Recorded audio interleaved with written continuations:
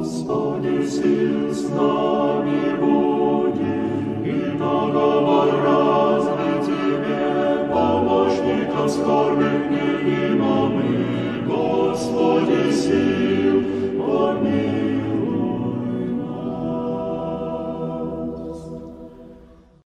Здравствуйте, дорогие мои друзья! Пусть мир и благословение Божие пребывают со всеми нами. Радости, праведности и мира о Духе Святом доброго всем дня и хорошего настроения. Молитва преподобного Ефрема Сирина заканчивается такими словами. «Ей, Господи, Царю, даруй мне зреть моя прегрешения, и не осуждайте брата моего, яко благословенный си во веки. Аминь». Даруй мне зрите моя прегрешения, и не осуждайте брата моего. Это основа духовной жизни. Дело в том, что мы все больны. Мы больны страстями, это хронические болезни. Их обычно святые отцы называют восемь. Чревоугодие, блуд, сребролюбие, гнев, печаль, уныние, тщеславие и гордость. Есть страсти плотские, это чревоугодие, блуд. Есть страсти душевные, это сребролюбие, тщеславие, гнев, печаль, уныние.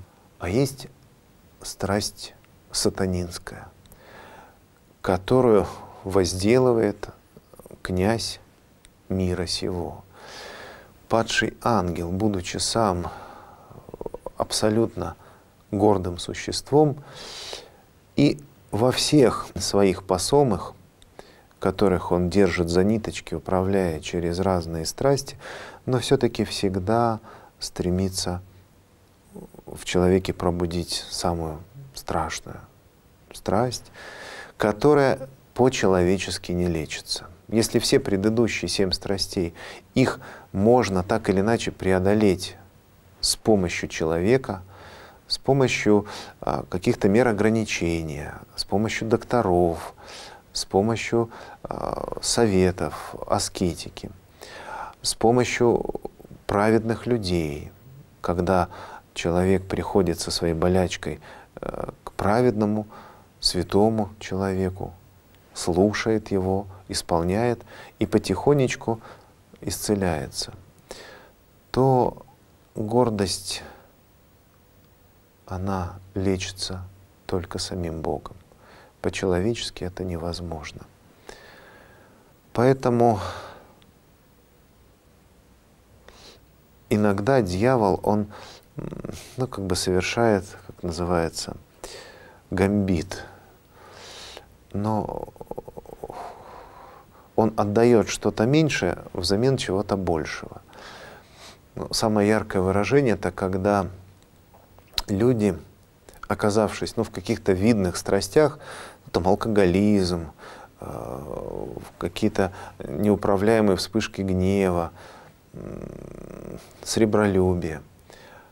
Например, для того, чтобы справиться с алкоголизмом, человек идет и э, ну, проходит какие-то ритуалы, обряды у, у целителя. И, еще прям это потом превозносит, ну так это же помогло, ну да, оно как бы видимая болезнь, которая тебя смиряла, которая помогала тебе все-таки понимать свою э, немощь, свое недостоинство и искать помощи, поддержки. И все равно как-то через смирение двигаться к Богу. Это ушло, но э, страсть, она никуда не делась, она просто вошла в глубь души, и потом, в конце концов, она дойдет до вот этой безумной гордости. Когда я смог, я не такой, как прочий человец, я же, я же себя преодолел. Или так бывает иногда, когда человек кодируется, ну, с точки зрения э, медицины есть определенные э, манипуляции, которые ну, там, ради страха, ради какого-то физического недомогания блокируют энергию страсти. Но этот покой, этот передых дается человеку для того, чтобы он пришел в церковь и начал вычищать корни страстей, начал э, учиться духовной жизни. Потому что, ну представляете, это как плотина, ты ставишь на пути потока реки, и э, вода поднимается, поднимается, поднимается. Если не иссушать русло реки, действия страсти, то в конце концов э, поток воды, он перевалит через плотину и будет еще сильнее, еще больше. Так и бывает, что если человек э, снимает какие-то блоки, он прям снова хочет как-то дорваться. Но если там какое-то духовное чудо не происходит, и человек не вычищает страсть бесовскую с помощью благодати Божией. А так обычно, э, если нет духовной жизни, человек себя в чем-то переломивший, он потом ходит и свысока смотрит на других. Он презирает этих немощных, этих выпивок. У него прям внутри вот иногда э, так скажешь, ну уж лучше бы ты пил, потому что то, что ты стал от вот этих манипуляций, это еще ну, с духовной точки зрения хуже. И вот одно из важнейших деланий — это научиться видеть свои согрешения, научиться видеть себя, не осуждать других, потому что наше духовное око, оно так устроено, как и физическое. Мы можем видеть ясно только одно, на чем сфокусировано наше зрение. Все остальное, оно немножко расплывчато. Если мы фокусируемся на грехах других, мы не видим ничего, в том числе и себя.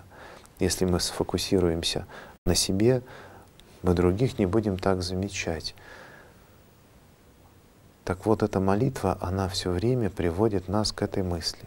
«Даруй мизрите мое прегрешение, и не осуждайте брата моего, яко благословенный си во веки. Аминь».